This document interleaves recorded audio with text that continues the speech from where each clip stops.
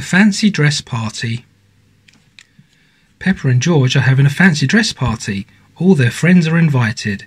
Peppa is dressed as a fairy princess and George is a dinosaur. All the guests are arriving. Rebecca Rabbit is dressed as a carrot and Susie Sheep has come as a nurse. Hello, Susie, says Daddy Pig. Have you just come from the hospital? I'm not a real nurse, says Susie Sheep. It's just pretend. Hello, Susie, says Peppa. I am Princess Peppa. You must bow when you speak to me. Susie Sheep bows. Woof woof, I'm a pirate. Shiver me timbers, says Danny Dog. Neigh, I'm a clown, says Pedro, tooting his horn. Rebecca, why are you dressed as a carrot? Danny asks. Because I like carrots, says Rebecca.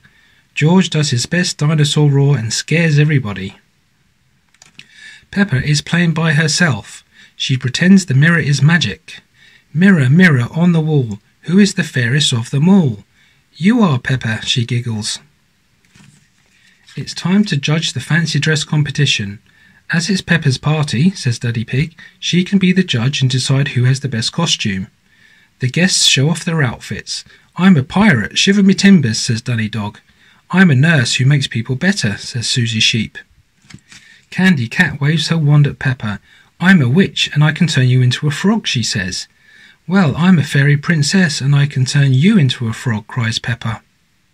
It is time to announce the winner. Everyone's costume is very good, says Peppa, but the winner is me. Peppa, you can't pick yourself, you're the judge, whispers Mummy Pig. Oh, can't I? asks Peppa.